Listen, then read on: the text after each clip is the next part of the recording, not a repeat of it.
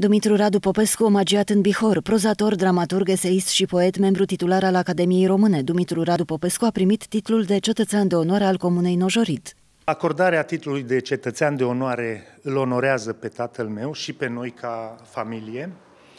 Uh, acordarea sau schimbarea denumirii școlii în Dere Popescu uh, la fel, înseamnă un mare lucru pentru el și pentru noi.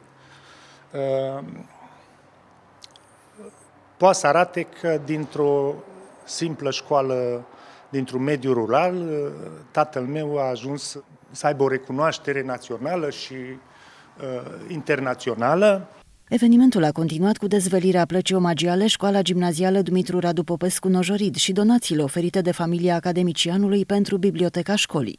De astăzi, școala noastră se va numi Dumitru Radu Popescu. Suntem uh, foarte emoționați, atât eu, cât și corpul de cadre didactice, de asemenea elevii.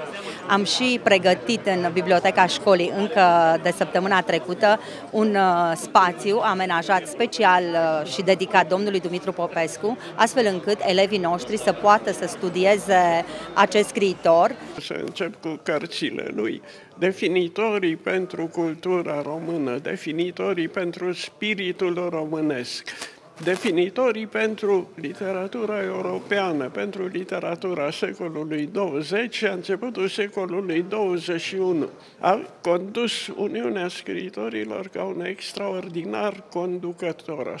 Este cel mai premiat prozator român a tuturor timpurilor. A primit de cinci ori Premiul Uniunii Scriitorilor pentru Literatură, inclusiv Premiul Național pentru Literatură, a primit pentru proză premiul național, scrie, a scris poezie, proză, eseuri, teatru, a fost tradus peste 15 limbi ale globului.